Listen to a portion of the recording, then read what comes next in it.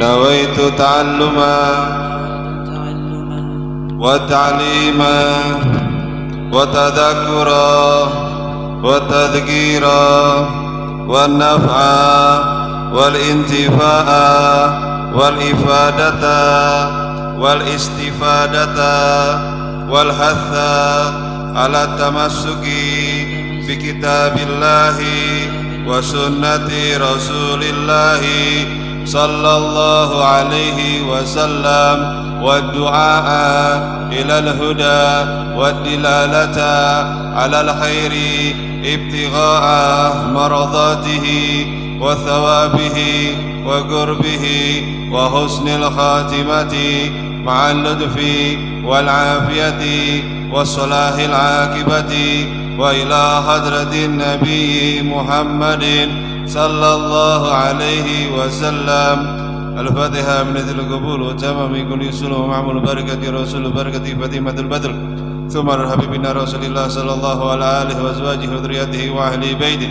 ثم إلى رسولنا مهاجر إلى الله أحمد بن عيسى واسلنا وسلم أعظم الوجه المقدم محمد بن علي بعلم وصله وأبرهم ثم إلى خصوصا صاحب الكتاب الهجة الإسلام ركة الأنام أبي حامد بن محمد بن محمد بن محمد الغزالي الدوسي وصله وأبرهم ثم إلى خصوصا الشيخ محمد أرسد البنجري لتقلم بيان وخصوصا الشيخ محمد زيني بن عبد الغني البنجري كروس كومبول وصله وأبرهم ثم إلى الإمام الكتب الحبيب أبو بكر بن محمد مرسكاف كرسي ولبي علوي بن محمد حسين مسكاف وصله وأبرهم ثم إلى خصوصا أستاذي الحبيب عبد الرحمن بن حسين بحليق السكاف وصلي وابراهيم ثم إلى خصوصا سيد الوليد الحبيب محمد الفي بن اسمان بن عبد الله ملك بن يحيى وصلي وابراهيم ثم إلى ارواح وجميع اولياء في هذه البلده وجميع المسلمين والمسلمات في هذا المكان الكريم أن الله غشهم برحمه والمغفرة ندعي علينا من بركاتهم وأسرارهم وأنوارهم وعلومهم ونفحاتهم في الدين والدنيا والآخرة.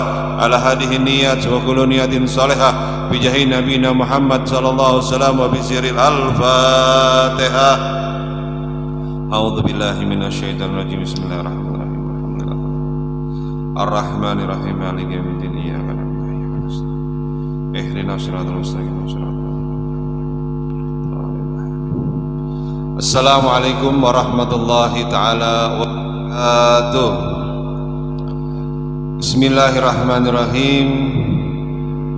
Alhamdulillahi rabbil alamin. Allahumma salli wa sallim wa barik syarif wa karim azim ala sayyidina Muhammadin wa ala alihi wa sahbihi wa barik wa sallim ajmain. Subhanaka la ilma lana illa ma 'allamtana innaka antal alimul hakim wa la haula wa la quwwata illa billahil aliyil azim.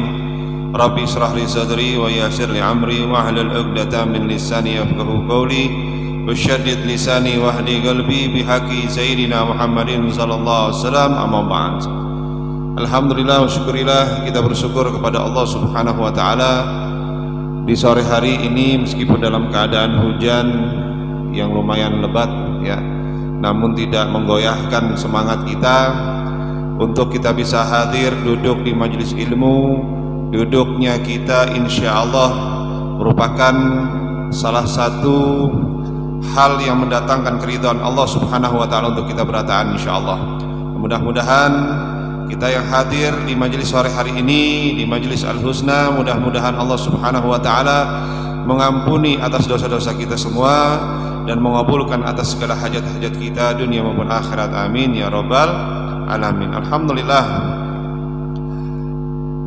قال الإمام قال الإمام الهجة الإسلام بركة الأنام أبي حميد محمد بن محمد الغزالي في كتاب بداية الهداية أن قال رضي الله عنكم وإن كان لك والدين وإن كان لك والدان فآداب الولد مع الوالدين أن يسمع كلام كلام كلامهما ويقوم لقيامهما ويمتثل أمرهما ولا يش ولا يمشي أمامهما ولا يرفع صوته فوق أصواتهما.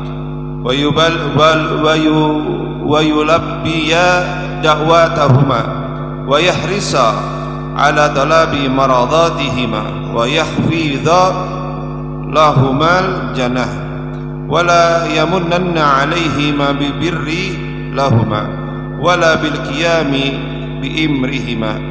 wala yanzuru ilaihima sajran wala yukattiba wajhuhu fi wujuhihima wala yusafira illa bi idnihima wallahu alam bisawab Alhamdulillah barusan kita tabaruk bil kitab mengambil berkah dengan kita membaca kitab mendengarkan pembacaan kitab Bidayatul Hidayah karya Al-Imam Ghazali radhiyallahu an. Mudah-mudahan kita semua yang mendengarkan, yang membaca, yang menyimak dan insya Allah mengamalkan isi daripada kitab ini mendapatkan keberkahan dari Imam Ghazali kemudian mendapatkan syafaat dari Imam Ghazali insyaallah dan juga mendapatkan daripada ilmu yang bermanfaat gasan dunia maupun akhirat kita beratakan amin ya rabbal alamin minggu yang lalu kita telah menjelaskan bagaimana adab. Adab seorang murid terhadap gurunya. Ya orang santri kepada gurunya dia. Mau gurunya itu lebih muda darinya mau nasabnya itu lebih rendah dari dia mau lebih sedikit akan kebaikannya mau dia tidak terkenal sekalipun maka yang namanya seorang murid wajib untuk ta'zim menghormati atau beradab lawan paguruan ya bahasanya seperti itu. Wajib. Ya ah, ini saya punya ambilkan contoh. Nah contoh ya. Nah, ini ada minyak harum, ya. Ini minyak harum. Minyak harum ini variatif, variasi harganya. Ada yang 5000 sabotol ya kalau minyak harum nih. Ada yang puluhan ribu, ya ratusan ribu, bahkan yang jutaan rupiah. Ada yang belasan juta bahkan, ya. Semua itu tergantung dari baunya semakin baunya ya semakin bagus daripada bau minyak harum tersebut maka nilai minyak harum tersebut semakin ma mahal semakin larang. Betul? Betul apa bujur? Hah? Nah, ini minyak harum nih. Ini contoh. Nah, kita ini manusia. Manusia itu dilihat daripada akhlaknya. Dilihat daripada adabnya dia. Ya dilihat daripada adabnya dia. Semakin baik adabnya semakin baik akhlaknya maka semakin tinggi nilai daripada manusia tersebut. Betul apa bujur? Nah, ya paham ya? Jadi manusia dilihat daripada adabnya. Mau dia jabat kelas tinggi jabatannya tinggi tapi kadada adabnya nggak ada nilainya dia. Ya. Mau dia seorang yang sugih sekalipun hartanya triliunan tapi kadada adabnya kadada nilainya juga. Mau dia bahkan seorang alim sekalipun tapi kadada adabnya kadada nilainya ya. Mau seperti apa pun dia bahkan apalagi kadada adab lawan perguruan ya naudzubillah min. Ya. Kadada nilainya sama sekali. Ilmunya kada ber berkah. Ilmunya kada manfaat. Ya. Kada ada adab lawan ahlul bait Rasulullah SAW kada ada nilainya seperti itu. Karena manusia itu dinilai daripada ahlaknya dia adabnya dia. Lawan kuitan apalagi yang lebih tua yang muda harus wajib beradab lawan yang lebih tuh tua seperti itu. Jadi manusia itu dinilai dari adabnya sekali lagi. Ya, dikatakan ditanya pernah Nabi Muhammad SAW pernah ditanya oleh seorang sahabatnya, ya Rasulullah, man akrabun nas, siapa manusia yang paling mulia ya Rasulullah? Ah, apa jawabannya Rasulullah? yang paling manu, uh, yang paling mulia di antara manusia yang lainnya adalah dia yang paling baik daripada akhlaknya ahsanuhum akhlaqo ya daripada akhlaknya dia yang paling mulia di antara manusia yang lainnya adalah yang paling baik yang paling bagus daripada akhlaknya ya, uh, membahas ya membahas. Ya, ada mungkin ini kurang pakai itu aja nah putus-putus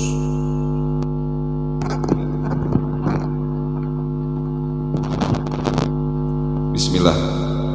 Nah, kemarin minggu yang lalu kita sudah membahas daripada pelajaran adab seorang santri seorang murid kepada gurunya dia.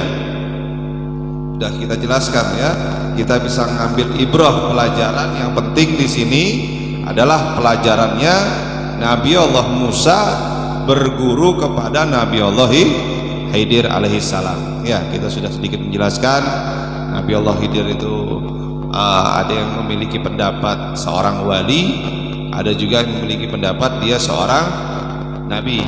Nah, dua-duanya sah ya karena kita sudah menjelaskan daripada dalilnya. Nah, oleh karena itu kita bisa ambil pelajaran.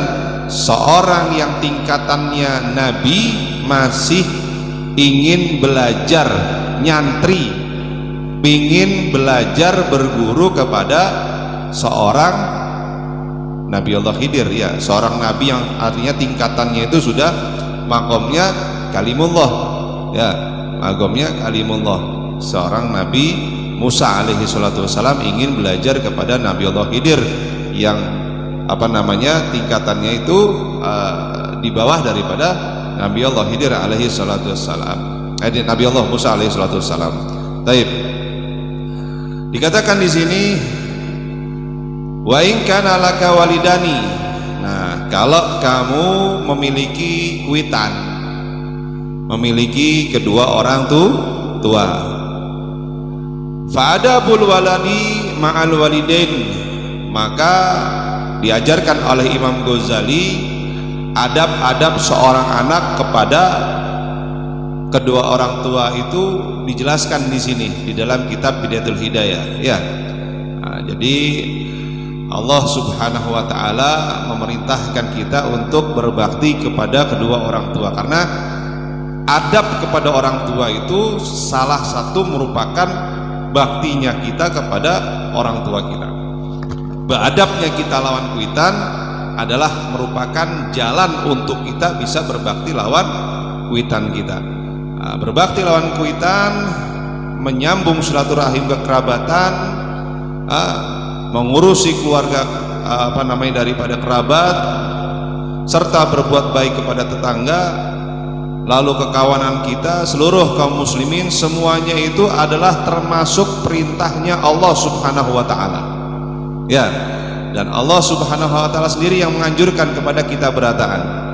Allah juga melarang kita meninggalkan perkara-perkara tersebut bahkan melalaikan perkara-perkara tersebut. Nah, selain juga selain itu juga Allah Subhanahu wa taala memberikan daripada ancaman kepada kita yang di mana kalau kita meninggalkan perintah-perintahnya Allah Subhanahu wa taala tersebut.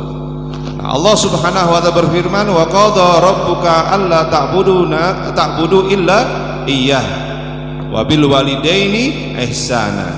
Nah, Allah Subhanahu wa taala berfirman kepada kita dan Tuhanmu Allah subhanahu wa ta'ala telah memerintahkan agar diri kalian itu jangan menyembah selain Allah subhanahu wa ta'ala ya jangan menyembah Tuhan selain Allah subhanahu wa ta'ala. Dan dianjurkan kita diwajibkan kita oleh Allah subhanahu wa ta'ala diperintahkan oleh Allah subhanahu wa ta'ala untuk kita berbuat baik wabil walidaini ihsana kepada kuitan kita seorang. Ayah lawan mama kita. Ya ini penting. Kenapa karena keduanya adalah pintu surganya kita.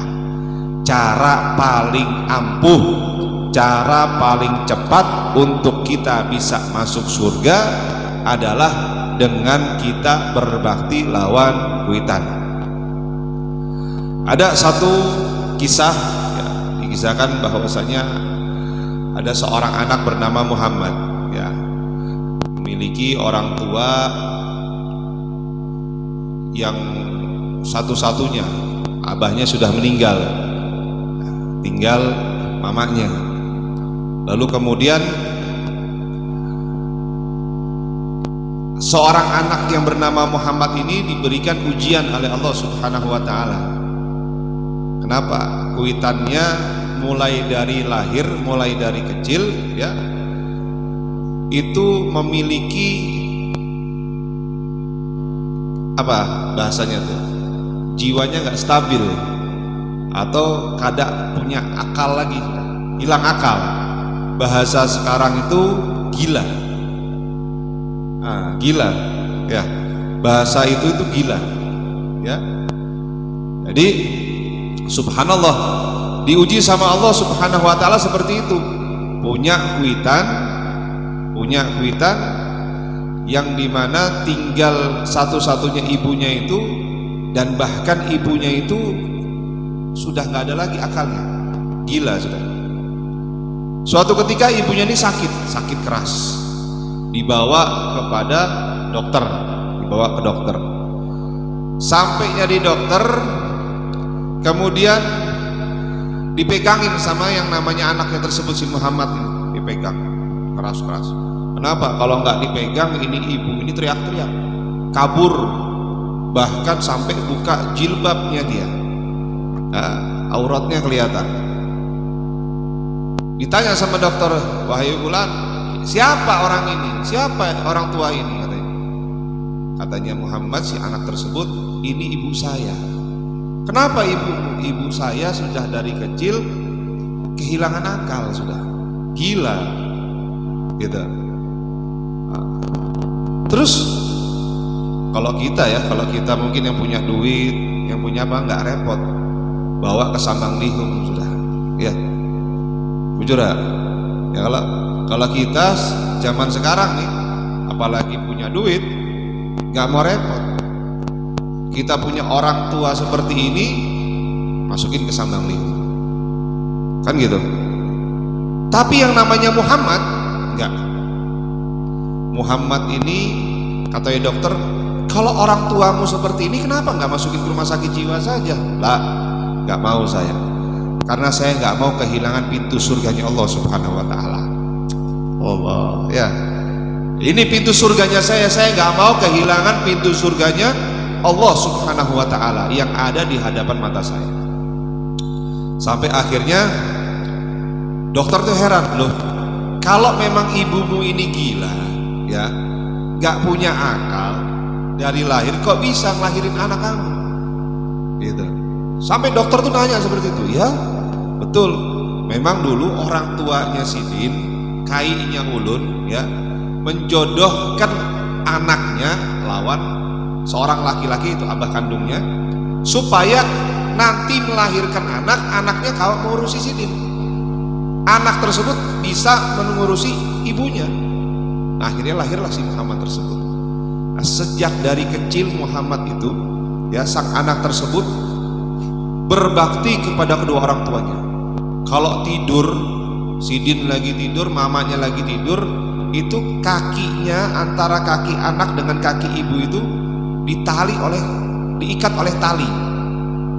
Supaya kalau kabur ibunya ini anaknya tahu. Bayangkan.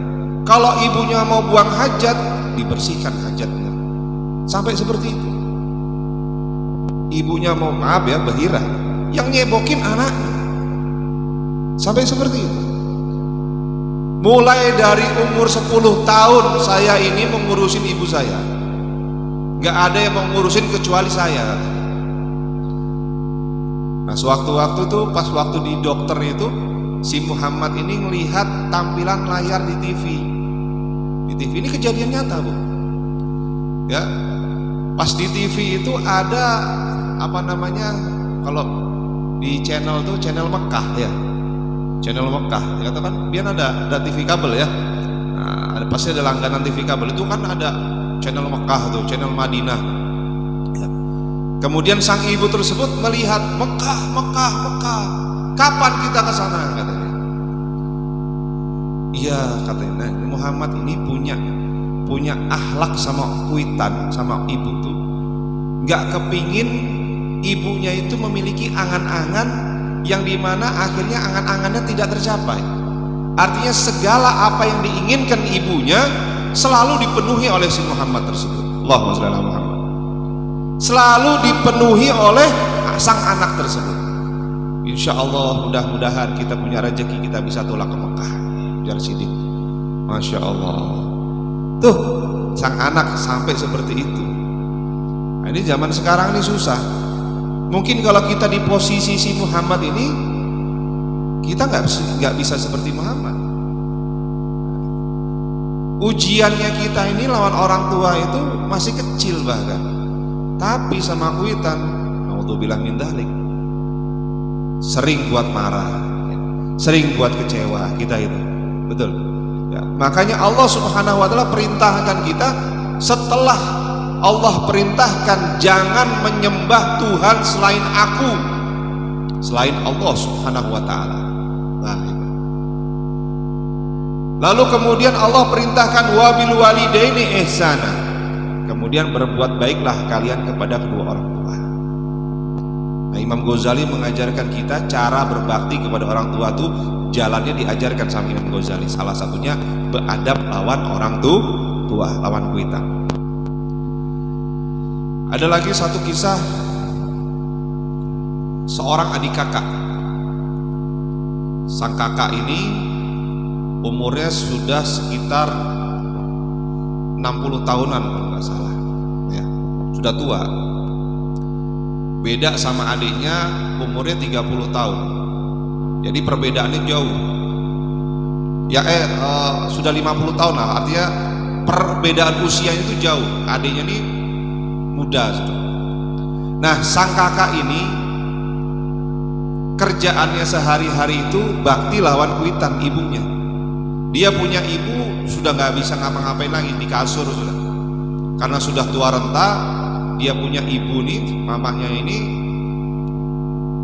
apa bebaring aja sudah di kasur, nggak bisa apa-apa. Namanya sudah tua renta ya, sudah sakit-sakitan. Adiknya ini ngomong sama kakaknya, kak, bolehlah ulun gantian lawan pian untuk mengurusi mama. Nah, Sang kakak nggak mau, nggak mau. Karena kenapa? Sekali lagi, saya nggak mau melepas pintu surga yang di hadapan saya. Sampai-sampai sang kakak ini kada kawin, kada nikah demi mengurusi ibunya. Bayangkan ya. Rela tidak menikah sama seorang wanita yang mungkin pernah dijodohkan atau apa, nggak mau dia demi untuk merawat berbakti lawan mamanya dia ngomong lagi adiknya kak bolehlah ulun gantian lawan pian. Ulun juga kepingin kesempatan ulun tuh bisa berbakti lawan kuitan. Lah gak mau. Behual nih. Ya adik lawan kakak nih behual. Berantem. Sampai-sampai akhirnya dibawa kepada majelis hakim. Kalau zaman sekarang ya, maaf ya. Adik kakak ini behual masalah harta waris. Betul? Betul apa bujur? Bujur atau betul? Tapi ini pelajaran buat kita. Ini bisa nyentil hati kita. Dulu adik kakak ada adik kakak terjadi peristiwa datang ke hakim minta pendapat ya apa caranya supaya sang adik ini bisa berbakti kepada kedua orang tuanya kepada mamanya dia sampai seperti itu. Hah? akhirnya sang hakim kamu umur kamu berapa? Umur saya sudah sekian puluh tahun katanya. Sekian 50 atau 60 tahun katanya. Ya kalau gitu kamu berapa? Saya umurnya 30 tahun karena saya lebih muda daripada dia. Wahai hakim saya ingin mendapatkan keadilan karena saya ingin berbakti lawan mama saya yang sudah tua renta. Bayangkan kalau gitu panggil ibu kalian. Enggak ibu saya nggak bisa dipanggil. Ibu saya di rumah nggak bisa untuk datang kemari karena nggak bisa jalan lagi sudah. Kalau gitu digendong. Tanya hakim gitu. Bagaimana saya memutuskan sedangkan tidak bisa menghadirkan ibu kamu? Akhirnya digendong ibunya. Dibawa ke hadapan hakim kemudian sang hakim bertanya kepada ibu tersebut wahai ibu yang memiliki dua orang anak. Diceritakan kejadian-kejadian seperti ini anak pian berdua ini rebutan kepingin mengurusi pian. Nah sekarang supaya adil saya mau bertanya pian memilih yang mana? Artinya mau diurusin lawan siapa? Lawan yang kakak kah? Lawan yang adik enggak katanya hakim tersebut katanya ibu tersebut sang anak saya ini yang pertama ada aini katanya gitu. Yang ini adalah mataku. Dan yang ini sang adik adalah mataku juga. Dan aku nggak bisa merelakan kedua buah bola mataku, mataku berdua ini untuk aku pilih. Artinya contoh nih, pian kalau u- le- eh, ulun tanya lebih memilih mata yang kanan atau mata yang kiri kadang melihat. Pasti kadang mau kedua-duanya ya kan? pasti lebih kepingin kedua-duanya itu melihat. Begitu juga sang ibu nggak mau kehilangan atau memilih anak yang ini anak yang ini. Nggak mau tuh ibu. Tuh nggak mau kehilangan mata yang kanan nggak mau kehilangan mata yang kiri. Nggak mau kehilangan anak yang pertama nggak mau kehilangan anak yang kedua. Tuh ibu. Akhirnya nggak bisa diputuskan akhirnya diputuskanlah sama hakim. Oleh karena itu karena sang usia anakmu yang ini lebih muda maka saya putuskan untuk anaknya kamu yang lebih muda ini bisa berbakti kepada dirimu mengurusi dirimu. Sang kakak sedih. Kehilangan pintu surga. Hah? Gak bisa lagi berbakti kepada mamanya dia. Masya Allah tuh sampai seperti itu ini pelajaran dari buat kita nih seberataan ya. Jarang kita lagi menemukan ujian bahkan kita kadang nggak diuji sama Allah Subhanahu Wa Taala dari orang tua ya. Atau mungkin kita dapat ujian dari kuitan dari orang tua kita sendiri yang nggak sebesar ini kan gitu. Orang tua kita normal orang tua kita masih kawah berjalan, orang tua kita masa kawin masih kawah beribadah, masih nyaman, artinya masih sehat bugar.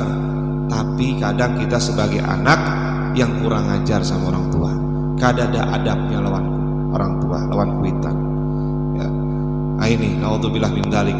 Jangan sampai kita berbuat dolim sama orang tua. Naudzubillah min dalik. Dikatakan Imam Ghazali an yasma'a kalamuha kala mahuma.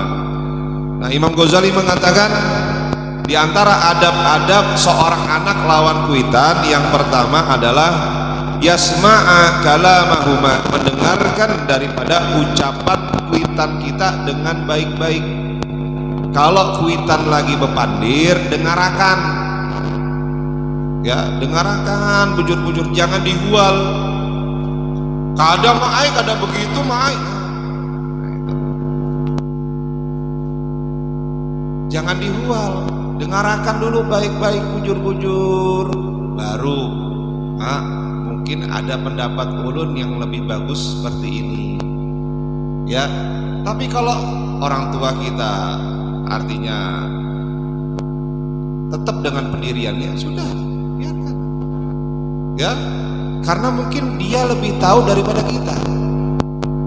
Itu orang tua saya punya contoh. Ini terjadi sama diri saya. Saya punya orang tua abah. Abah saya meninggal tahun 2001 ya. Abah saya pesan sebelum meninggal. Setiap kali sebelum meninggal dia pesan Mahdi kamu nanti kalau sudah lulus aliyah ya. Saya waktu itu sekolah aliyah di Yayasan Pendidikan Islam. 45 di Bekasi ya. Jadi kalau kamu sudah lulus sekolah kalau kamu pilih antara dua kalau nggak mondok kalau nggak jadi polisi. Ya. Kalau nggak mondok kalau nggak jadi polisi. Kata abah saya karena abah saya polisi. Abahnya ulun polisi pak. Bu polisi di Jakarta Timur. Gitu. Almarhum Sidin. Mudah-mudahan Allah terima amal ibadahnya. Ampuni dosa-dosanya. Amin. Ya robbal alamin. Tapi ulun namanya namanya masih muda ya belum masih lugu-lugunya masih lucu-lucunya mungkin ya. Nah, ulun uang kada ulun kada hakun keduanya aja. Jadi ulun gitu. Kada mau mondok kada mau jadi polisi. Tapi dengan berjalannya waktu kehidupannya ulun setelah abah meninggal dan sebagainya subhanallah apa yang dikatakan abah betul? Saya waktu itu sempat kuliah ya sempat kuliah. Saya nggak mau mondok saya nggak mau jadi polisi. Akhirnya ya seperti ini. Ya apa yang dikatakan abah tuh jujur. Saya pernah daftar polisi gagal. Saya pernah daftar belum pernah daftar polisi gagal. Nah caranya Allah akhirnya apa? Membuat jalan memang ulun harus berdakwah harus mondok harus belajar ilmu inilah yang terjadi jadi apa kata orang tua itu dengarkan bujur-bujur mungkin dia lebih tahu dari kita mungkin ada rahasianya Allah Subhanahu wa taala dalam padiran sidin. Tuh. Ya. Inggihin aja sudah. Apa ujar orang tua mungkin itu yang terbaik buat kita. Nah, tuh. Ini terjadi sama ulun, Pak. Abah bilang kada kalau kada mondok jadi polisi. Ulun bilang kada keduanya. Akhirnya Allah kasih jalan. Inilah jalan ulun kada jadi polisi tetapi dakwah di jalannya Allah Subhanahu wa taala. Sampailah ulun ke Kalimantan Sampailah sekarang di Binuang dan di hadapan pian buat pian berataan. Kalau lihat ini jalannya Allah. Lewat lisannya orang tuh tua. Makanya kalau orang tua lagi bepandir lawan kita sebagai anak bujur-bujur dengarkan. Bujur-bujur dengarkan ya. Jangan dibual dulu. Nah, itu itu termasuk adabnya kita dari anak sebagai orang uh, dari uh, uh, sebagai anak daripada orang tuanya ya lalu kemudian dikatakan wa yakuma liqiyamihima kalau kita hendak lagi dudukan nih lawan kuitan kita jangan berdiri sebelum sidin berdiri ya, seperti kemarin kita belajar ada seorang murid kepada gurunya. Jangan murid itu berdiri sebelum gurunya berdiri. Nunggu dulu gurunya berdiri baru hanya kita murid berdiri. Itu adab. Begitu juga anak lawan kuitan ya seorang anak lawan abah seorang anak lawan mamanya.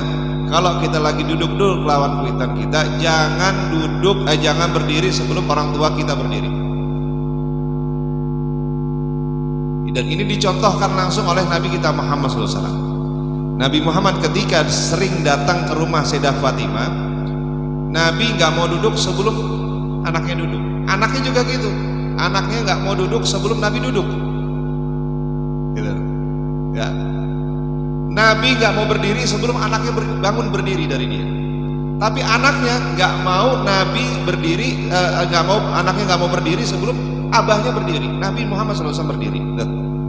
Diajarkan sama Nabi kita Muhammad SAW betapa pentingnya akhlak daripada anak lawan witannya. Itu.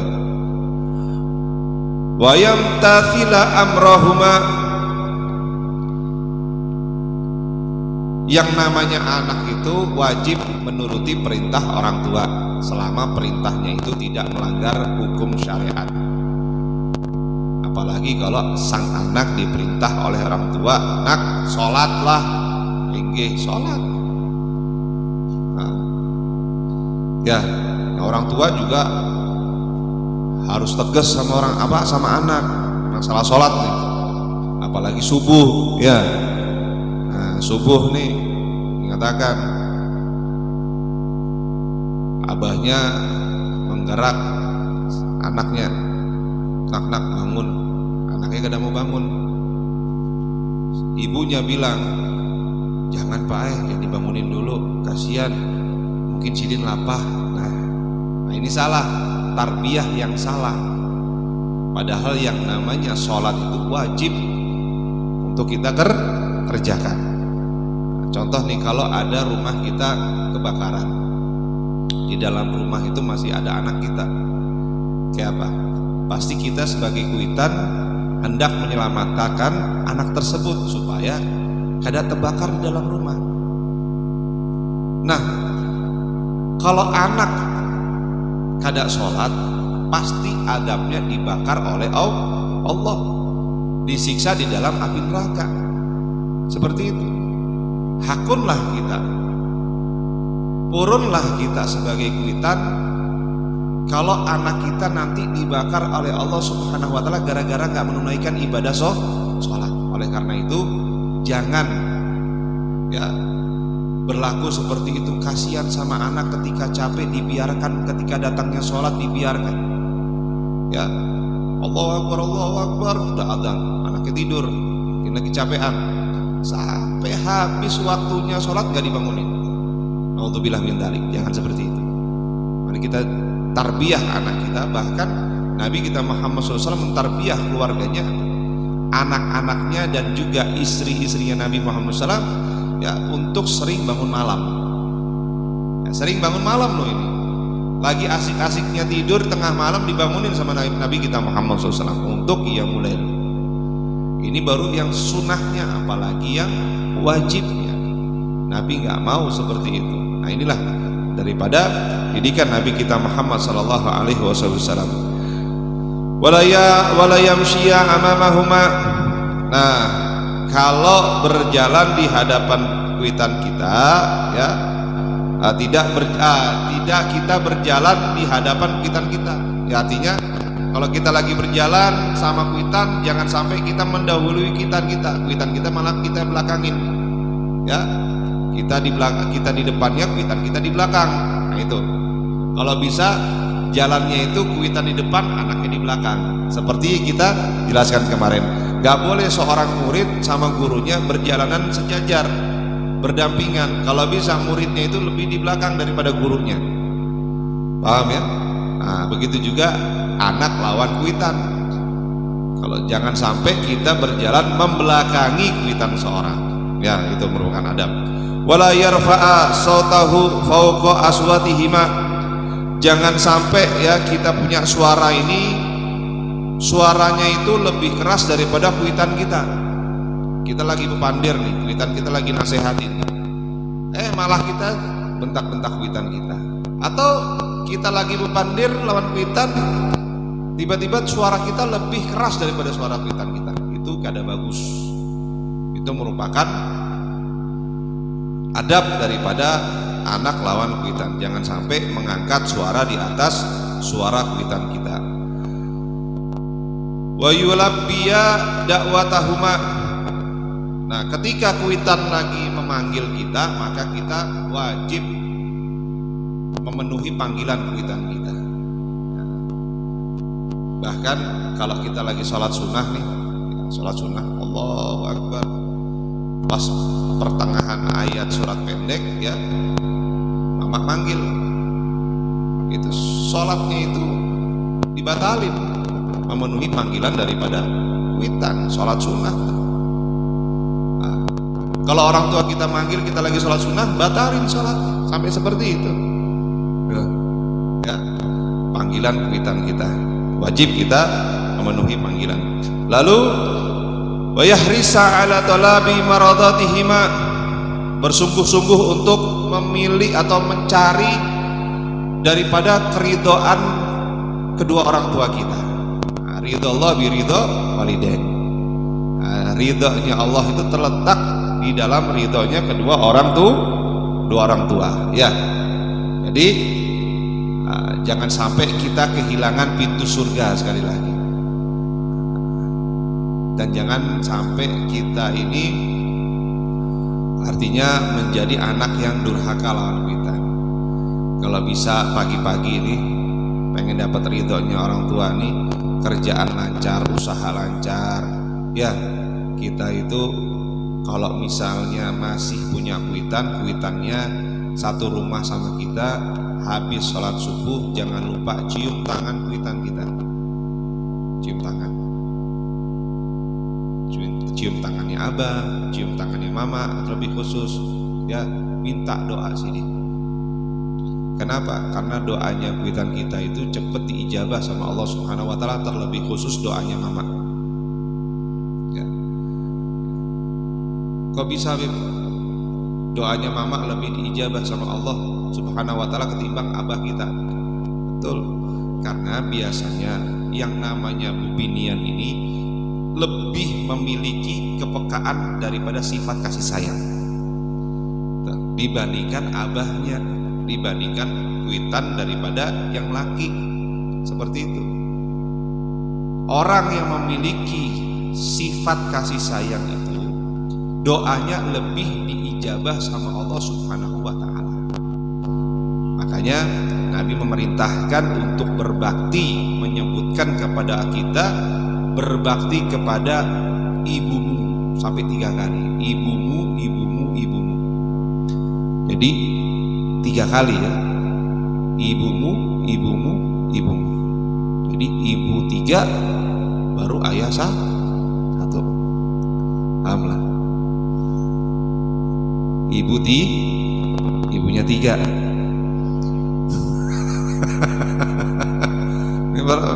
soalnya ngantuk berataan ini ya. Mentang-mentang sudah sudah hawa-hawanya sudah mau maghrib ya. Jadi Nabi memang seperti itu bu hadisnya. Nabi memerintahkan kita untuk berbakti kepada kedua orang tua kita khususnya ibu kita. Bahkan Nabi menyebutnya tiga kali ibumu ibumu ibumu. Tiga kali. Baru ayah ayah disebut cuma sekali artinya lebih kita tekankan kepada mama kita. Nah itu jangan sampai kita lewatkan ya. Lalu kemudian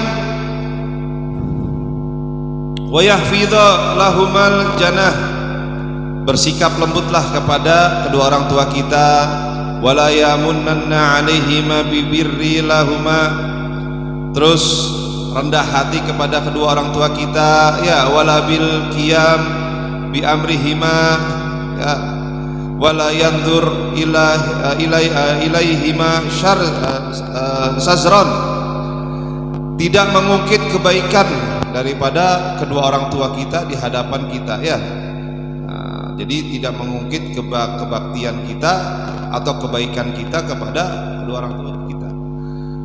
Dulu Sayyidina Umar bin Khattab pernah ditanya wahai Umar Sayyidina Umar saya pernah melihat seseorang menggendong ibunya tawaf memutari Ka'bah apakah itu sudah yang dinamakan bakti lawan kuitan? Lah, enggak. Mau kamu muterin sampai seribu kali, sejuta kali, ya, muterin Ka'bah gen, sambil gendong ibumu, itu belum bisa membalas jasa kebaikan orang tua. Dan kamu belum dikatakan bakti sama orang tua. Seperti itu.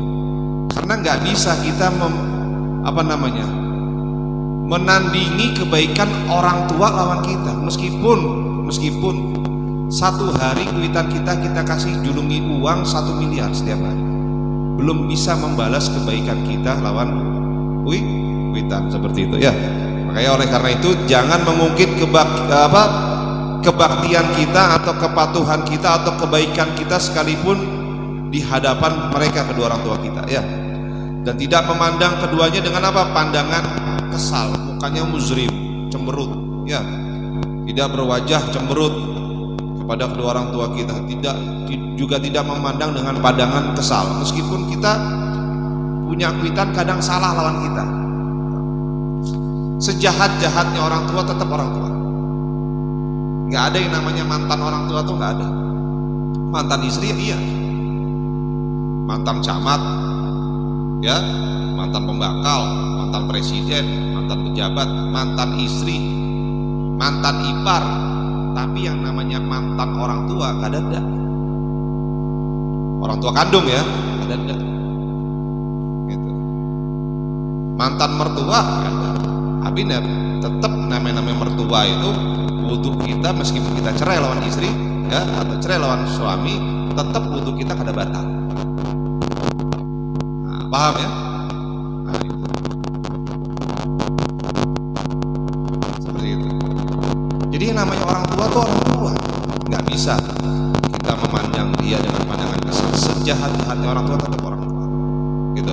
Apalagi tidak boleh memasang wajah cemberut. Mukanya lecok di hadapan orang tua. Kita lagi kesel sama orang cemberut apa sih? Nah ya. Jangan ya. Nah, dan tidak dikatakan di sini walaya wala yusafira illa biidnihima. Nggak boleh pergi keluar rumah tanpa seizin dari kuitan ini yang anum-anum nah dengerakan nih. Ya. Jangan keluar rumah kecuali mendapatkan izin dari orang tu tua. Juga orang tua juga nggak boleh memberikan kebebasan kepada anak. Sebebas-bebasnya waktunya maghrib pulang. Masa kalah sama ayamnya ayam aja nyariin anaknya. Nah ini ada orang tua ngizinin anaknya keluar maghrib-maghrib nggak dicariin pulang. Bahkan sampai pagi baru pulang. Alhamdulillah min dalik. Ayo. Nah, ini merupakan pelajaran kita di sore hari ini. Kita sebagai anak untuk kita bisa bakti lawan kuitan. Dan mudah-mudahan Allah subhanahu wa ta'ala memberikan kita predikat anak-anak yang bakti lawan kuitan kita. Amin. Mudah-mudahan kita yang masih punya orang tua abah atau mama kita yang masih hidup Allah berikan panjang umurnya memberikan keberkahan di usianya memberikan kesehatan kita atilah wa rasulih. Amin ya robbal alamin. Dan juga apabila orang tua kita yang telah meninggal dunia mereka abah atau mama kita yang sudah meninggal dunia Allah subhanahu wa ta'ala ampuni segala dosa-dosanya Allah subhanahu wa ta'ala lapangkan kuburnya Allah jadikan kuburnya raudhah min riyadil jannah Allah terima segala amal ibadahnya dan Allah kumpulkan nanti bersama Nabi Muhammad sallallahu alaihi wasallam. Amin ya rabbal alamin. Sebelum ulun tutup, ulun minta doa uh, insya Allah habis Isa anak ulun yang namanya Muhammad dioperasi di rumah sakit kandangan.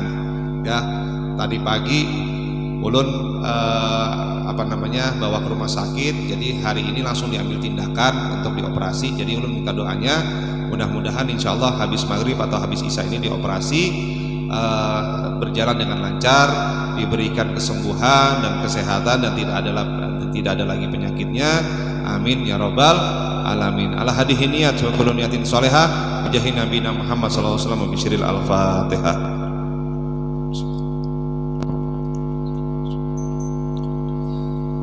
يا ربنا اعترفنا بأننا اقترفنا وأننا أسرفنا على لظى أسرفنا فاكتب علينا توبة تكسي لكل هوبة واستر لنا العورات وآمن الروآت واغفر لوالدينا ربي ومولودينا والآل والإخوان وسائر الخلان وكل ذي مهبة أو جيرة أو صهبة والمسلمين أجمع. أمين ربي أزمى فضلا وجودا منان لا باكتساب منا. بالمصطفى رسولي نرضى بكل سولي صلى وسلم ربي عليه أدى الهب وآله وصحبه عداد تشيسه والحمد لله في الباد والتناهي سبحان ربك رب العزة عما يصفون وسلام المرسلين والحمد لله رب العالمين. تقبل الله منكم. والعفو منكم ثم السلام عليكم ورحمة الله وبركاته.